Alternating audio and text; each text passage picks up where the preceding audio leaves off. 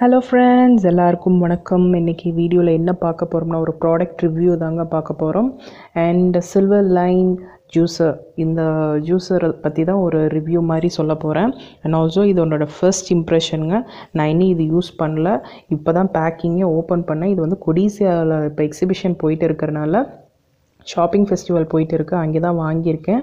Sale ப்ரைஸில் தான் வாங்கினேன்.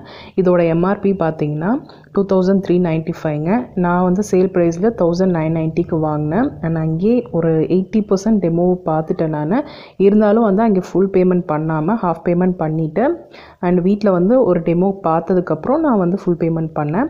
அண்ட் uh, இதோட first impression and first time use பண்ணுறேன் நான். எனக்கே எப்படி இருக்கும்னு தெரியாது. அண்ட் அது உங்களுக்கு ஒரு வீடியோவை எடுத்து காட்டினானே இப்போது வாங்குறவங்களுக்கு அது ரொம்ப யூஸ்ஃபுல்லாக இருக்கும்னு நினச்சேன். ஆனால் இது எனக்கு பிடிச்சிருந்தது ஃபஸ்ட்டு பார்க்கும்போது இதெல்லாம் தான் அதோட அட்டாச்மெண்ட்ஸ் பார்த்திங்கன்னா தெரியும். அண்ட் இதெல்லாமே ஃபைபரில் இருக்குது அண்டு பெருசாக ஒன்றும் கிடையாது. என்ன சொல்கிறது கஷ்டமாக இது இப்படியா அப்படின்ற மாதிரி இருக்கு எதுவும் கிடையாது. ஈஸியாக யார் வேணால் இதை ஃபிட் பண்ணிக்கலாம் ரிமூவ் பண்ணிக்கலாம். அந்த மாதிரி தான் எல்லாம் லைட் வெயிட்டாக தான் இருக்குது பார்க்க போனால் ஒரு ஒன்றரை கிலோக்குள்ளே தான் இருக்கும்னு நினைக்கிறேன். ரொம்ப லைட் வெயிட்டாக தான் இருக்குது இதெல்லாம் அதோட அட்டாச்மெண்ட்ஸ் நான் இப்போ காட்டினது பார்த்திங்கன்னா ஒரு தனி அட்டாச்மெண்ட் இந்த மாதுளம்பழம் ஆரஞ்சு அதெல்லாம் போகிறதுக்கு மட்டும் இந்த அட்டாச்மெண்ட்ஸ் யூஸ் பண்ணிக்கணும். அண்டு பார்த்திங்கன்னா இது எப்படியெல்லாம் அட்டாச் பண்ணலாம் அப்படின்னு சொல்லிட்டு நான் காட்டுறேங்க. ஏற்கனவே நான் வந்து டெமோ பார்த்த பண்ணப்போ நான் பார்த்துட்டேன். ஒரு தடவை அவங்க அவங்க யூஸ் பண்ணி காட்டிட்டாங்க. இதுதான் வந்து நான் பண்ணுறேன் ஃபஸ்ட் டைம் எப்படி இருக்கும்னு எனக்கு தெரியல. ஸோ இது கம்ப்ளீட்டாக வந்து என்னோடய ஒப்பீனியன் தான். இது வந்து அதுவும் இல்லாமல் இது ஸ்பான்சர்ட் ப்ராடக்ட்லாம் கிடையாது. என்னோடய ஓன் மணியில் வாங்கினது இது. அண்ட் பார்த்திங்கன்னா இது இதில் எப்படி இருக்கும்லாம் எனக்கு தெரியல. ஸோ ஏதாவது தப்பு இருந்ததுன்னா நான் பண்ணுறதுல இப்படி தப்பு இருந்ததுன்னா சாரி இப்போவே சொல்லிடுறேன். அண்ட் இப்படி தான் ஃபிட் பண்ணுறதுங்க அண்ட் பார்த்திங்கன்னா ரொம்ப ஈஸியாக தான் இருக்குது பெருசாக ஒன்றும் கிடையாது. ஃபிட்டிங்ஸ் எல்லாம். இது பார்த்திங்கன்னா ஒரு ப்ரெஸ் பண்ணிவிட்டு இந்த பிளேடு ஒரு ப்ரெஸ் பண்ணிவிட்டு அதே ப்ரெஸ்ஸில் எடுத்துட்டோம்னா புல் அண்ட் புஷ் தான். பெருசாக லாக்கெல்லாம் பண்ணணுன்றதெல்லாம் இல்லை. புல் பண்ணிவிட்டு புஷ் பண்ணணும். அவ்வளோதான் வேறு எதுவும் இல்லை. அண்ட் இது பார்த்திங்கன்னா இந்த நாப் இருக்கிற ஏரியாவை வந்து அந்த பிளேடு இருக்கிற சைடில் வச்சு நம்ம ஃபிட் பண்ணிவிட்டு லாக் பண்ணிடணும். அவ்வளோதான் அண்ட் uh, இதில் என்னெல்லாம் என்னென்னலாம் வெஜிடபிள்ஸ் அண்ட் ஃப்ரூட்ஸ் போடலான்னா இதில் பார்த்திங்கன்னா போடக்கூடாத ஃப்ரூட்ஸ் எல்லாம் என்னென்னு பா என்னென்னு பார்த்திங்கன்னா சீத்தாப்பழம் வாழைப்பழம் இது போடக்கூடாதுங்க. அண்டு காய்கறிகளில் பார்த்திங்கன்னா இது முரு முருங்கைக்காய் போடக்கூடாது. அண்டு அண்ட் இன்னென்னமோ சொன்னாங்க சம் கரும்பு போடக்கூடாது. அந்த மாதிரி தண்ணி ச தண்ணி இருக்கிற வாட்டர் கண்டென்ட் இருக்கிற ஃப்ரூட்ஸ் அண்ட் வெஜிடபிள்ஸ் போடலாம். அது இல்லாமல் இருக்கிறது வந்து போட்டோம்னா நமக்கு எதுவும் ஒர்க் ஆகாதுங்க. அது பிளேடு போயிடும். அண்ட் இது வந்து அந்த புஷ் பண்ணிக்கிறதுக்காக. அண்ட் இது வந்து கிரேப்ஸு மாதுளம்பழம் ஆரஞ்செல்லாம் போடுறதுக்காக இது. ஏன்னா தெரிக்கும். மாதுளம்பழம்லாம் நம்ம ஒன்றா போடும்போது வந்து வெளியில் வந்துடும் ஸோ அதுக்காக இந்த அட்டாச்மெண்ட் வச்சுட்டு இந்த ஹோலில் நம்ம போட்டோம்னா நமக்கு வெளியில் வராது. ஸோ நான் என்கிட்ட இப்போது இப்போ கையில் இருக்கிற ஃப்ரூட்ஸ் அண்ட் வெஜிடபிள்ஸ் வச்சு நான் உங்களுக்கு போட்டு காட்டுறேன். எப்படி இருக்குன்னு காட்டுறேன்.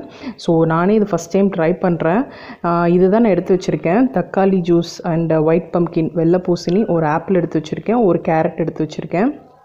இதெல்லாமே பார்த்திங்கன்னா ஃபஸ்ட்டு அவங்க போட்டப்பவே பார்த்திங்கன்னா ஒரு ஹாட் வாட்டரில் ஃபஸ்ட்டு அந்த மெ அந்த அட்டாச்மெண்ட்ஸ் எல்லாம் வாஷ் பண்ணிட்டாங்க. ரொம்ப கொதிக்கிற தண்ணி கிடையாது. ஆனால் கொஞ்சம் நல்லா கை சுடுற அளவுக்கு இருக்கிற தண்ணியெலாம் க்ளீன் பண்ணிட்டாங்க. அதுக்கப்புறம் தக்காளி தான் போட்டு ஃபஸ்ட்டு அரைச்சாங்க. ஏன்னா அந்த பிளாஸ்டிக் ஸ்மெல்லு வந்து வராமல் இருக்கணுன்றதுக்கு வேண்டி சொன்னாங்க. இது ஒரு டிப்பாக கூட அவங்க சொன்னாங்க. அண்டு பார்த்திங்கன்னா சீத்தாப்பழம் வாழைப்பழம் அப்புறம் என்ன சொல்கிறது கரும்பு அப்புறம் எனக்கு மறந்துருச்சுங்க. சிலதெல்லாம் அதெல்லாம் போட வேண்டாம்னு சொல்லி சொல்ல சொன்னாங்க.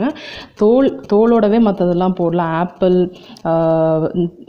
நார் வரது பார்த்திங்கன்னா வாழைத்தண்டு இதெல்லாமே தோலோடவே போடலாம். எதுவும் நம்ம கட் பண்ணி போட வேண்டியதில்லை. தோலில் சீவ வேண்டியதில்லைன்னு சொன் சொன்னாங்க. பாவக்காயெல்லாம் அப்படியே போடலாம். கொட்டை எடுக்க வேண்டியதில்லை நாங்கள் அதை நான் டெமோவும் பார்த்தேன். நான் இங்கே குடிச்சும் பார்த்து நல்லா இருந்தது. அண்ட் பார்த்திங்கன்னா அண்டு uh, இப்போ தக்காளி நம்ம போட்டு பார்க்கலாம் எப்படி வருதுன்னு பார்க்கலாம் அண்டு uh, இதை எப்போவுமே வந்து அப்படியே முழுசாக போடாதீங்க. கட் பண்ணி போட்டுக்கோங்க. நான் முழுசாக உள்ளே போகாது அந்த ஹோலில் அண்டு இப்போ போட்டு பார்க்கலாம் எப்படி இருக்குன்ட்டு. அண்ட் அவங்க சொல்கிறாங்க நெல்லிக்காயெல்லாம் கொட்டையோடையே போடலாம். போட்டு காட்டினாங்க.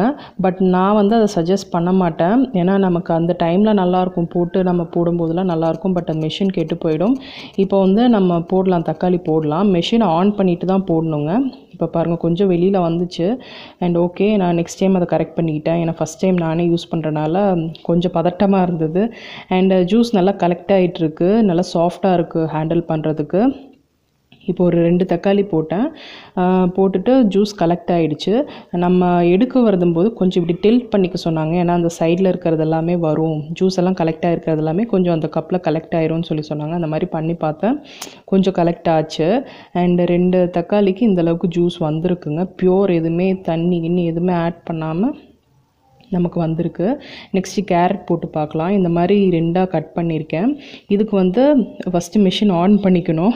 நான் அதை ஆன் பண்ணாமே நான் போட்டுட்டேன் ஃபஸ்ட் டைம்ன்றனால ஆன் பண்ணிவிட்டு போட்டுட்டு அந்த புஷ்ஷர் வச்சு நம்ம புஷ் பண்ணோம்னா ஈஸியாக இருக்குது கொஞ்சம் ஹார்டாக இருந்தது ஃபஸ்ட் டைம்ன்றனால பண்ண அந்த புஷ் பண்ண பண்ண சாஃப்ட் ஆகிடுச்சுங்க இது நல்லா ஈஸியாக இருந்தது ஃப்ரெஷ்ஷாக கலெக்டாக இருந்தது சாட்டிஸ்ஃபைடாக இருந்தது பார்க்குறதுக்கு இவ்வளோ அளவுக்கு நான் எக்ஸ்பெக்ட் பண்ணல. ஏன்னா நமக்கு இந்த சேலில் வாங்குகிற ப்ராடக்ட்ஸாக இருக்கட்டும் எக்ஸிபிஷனில் இந்த ஃபெஸ்டிவ் சீசனில் வாங்குகிற சேல் ப்ராடக்ட்ஸ் எல்லாம் நமக்கு அவ்வளோ பார்க்கும். அவங்க பண்ணும்போது நல்லாயிருக்கும் பட் நமக்கு வீட்டுக்கு வீட்டுக்கு வந்து அதை பண்ணி பார்க்கும்போது அது அவ்வளோக்கா நமக்கு ஒர்க் அவுட் ஆகாது. பட் அது எனக்கு சாட்டிஸ்ஃபைடாக இருந்தது. இப்போ வரைக்கும் சாட்டிஸ்ஃபைடாக இருக்குது நெக்ஸ்ட் இந்த ஒயிட் பம்ப்கின் போட்டு பார்க்கலாம். இதில் நான் சீடு எடுக்கலை. இதுக்கு வேண்டிய நான் சீடு எடுக்காமல் தோல் எடுக்காமல் நான் வச்சுருந்தேங்க. நான் உங்களுக்கு இது வாய்ஸ் ஓவர் கொடுக்குறனால உங்களுக்கு எனக்கு தெரியும் அது என்ன ஆச்சுன்ட்டு.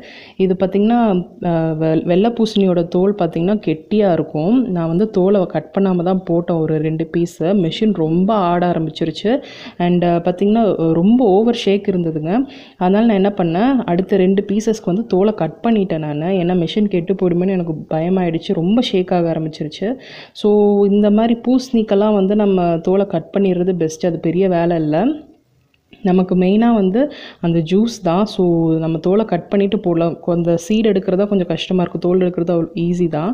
இப்போ பாருங்கள் நான் முதலே காட்டிடுறோம் உங்களுக்கு. அந்த தோல் எடுக்காமல் அந்த இடத்துல இருக்குது இதெல்லாம் முதலே கலெக்ட் ஆகிருந்தது அண்டு முதலே தோல் தோலெல்லாம் எடுக்காமல் போடுறப்பவே உங்களுக்கு முன்னாடி காட்டிடுறேன் நான்.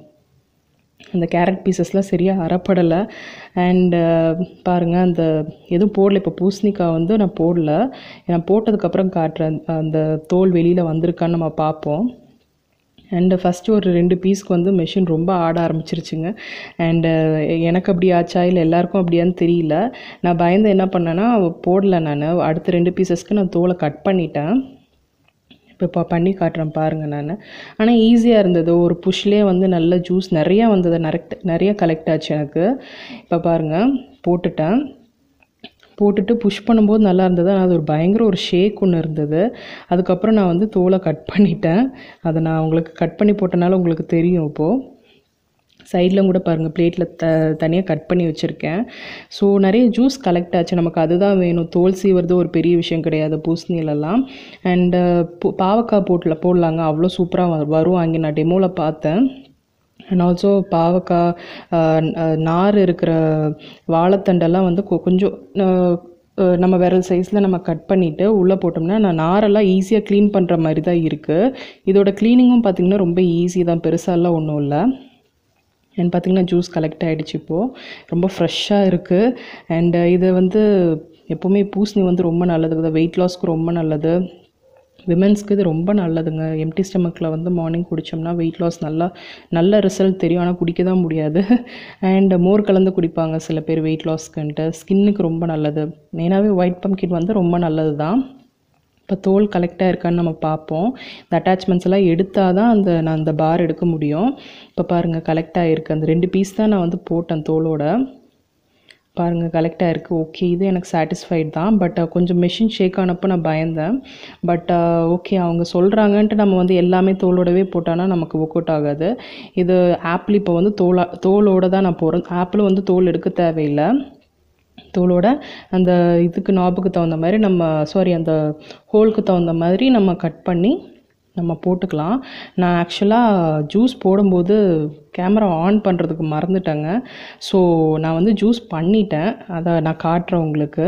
குட்டி குட்டியாக கட் பண்ணிவிட்டு அந்த கொட்டை இருக்கிற ஏரியாவையும் நான் அப்படியே வச்சுருக்கேன். அதெல்லாம் உள்ளே நான் க பாருங்கள் இந்த பீஸையும் நான் வந்து உள்ளே போட போகிறேன் என்ன ஆகுதுன்னு பார்ப்போன்ட்டு தான்.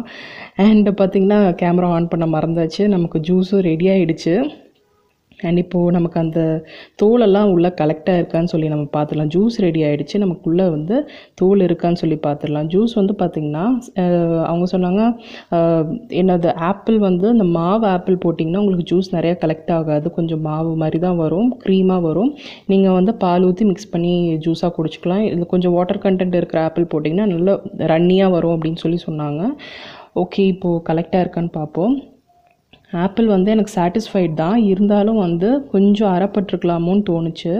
அண்டு uh, uh, கொஞ்சம் ச கொஞ்சம் uh, தோலும் சீவி தான் வெளியே தான் தோலெல்லாம் நமக்கு வரல. பட் இருந்தாலும் அந்த அந்த ஸ்கின்ல வந்து ஒட்டியிருந்தது கொஞ்சம் கொஞ்சம் அறப்படாமல் ஸோ ஓகேன்ற மாதிரி தான் இருந்தது ஆப்பிளை பொறுத்தளவுக்கு. இதில் வந்து குக்கும்பர் ஜூஸும் போடலாம். அவ்வளோ நல்லா இருக்குங்க. அண்டு பார்த்திங்கன்னா நெல்லிக்காய் எ- எல்லாமே போடலாம். நான் சொன்ன சில ஐட்டம்ஸ் சில ஃப்ரூட்ஸ் அண்ட் வெஜிடபிள்ஸை தவிர்த்து மற்றது எல்லாமே போடலாம். அண்ட் இந்த பிளேட்ஸ் எல்லாமே க்ளீன் பண்ணுறதுக்கு ஈஸியாக இருந்தது. டூத் ப்ரஷ் வச்சு க்ளீன் பண்ணால் இன்னும் கொஞ்சம் ஈஸியாக இருக்கும். இதை வச்சு க்ளீன் பண்ணுறதை விட. ஏன்னா இது எனக்கு கொஞ்சம் கையெல்லாம் கிழிக்கிற மாதிரி தெரிஞ்சது. அண்ட் பிளேடெல்லாம் ரொம்ப ரொம்ப ஷார்ப்பாக இருந்தனால நமக்கு அது சேஃப் கிடையாது. ஒரு டூத் ப்ரஷ் வச்சு நம்ம க்ளீன் பண்ணோம்னா ஈஸியாக க்ளீன் ஆகிடும் அண்ட் பார்த்திங்கன்னா க்ளீனிங் எல்லாமே ஓகே ஓகேவாக இருக்குது அதோட அவுட்டர் பாடியும் நல்லா ஸ்டடியாக இருக்குது ரொம்ப என்னது ஆடுற மாதிரியெல்லாம் கிடையாது. அண்ட் அவங்க சொன்ன மாதிரி தோல் எடுக்காமல் பூசணிக்காய் போடுங்க அப்படின்லாம் சொன்னாங்க. பட் அதை அது ஒன்று தவிர்த்து மற்றது எல்லாமே எனக்கு பிடிச்சது.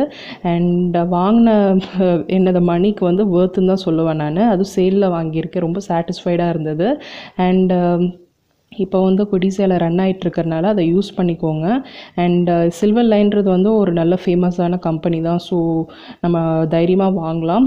இந்த ரிவ்யூ உங்களுக்கு demo and review first impression உங்களுக்கு பிடிச்சிருக்கும்னு நினைக்கிறேன். அண்ட் இந்த வீடியோ பிடிச்சிருந்தா மறக்காமல் ஒரு லைக் கொடுங்க. சப்ஸ்கிரைப் பண்ணாதவங்க சப்ஸ்கிரைப் பண்ணிக்கோங்க. நெக்ஸ்ட் வீடியோவில் வா பார்க்கலாம். தேங்க்ஸ் ஃபார் வாட்சிங்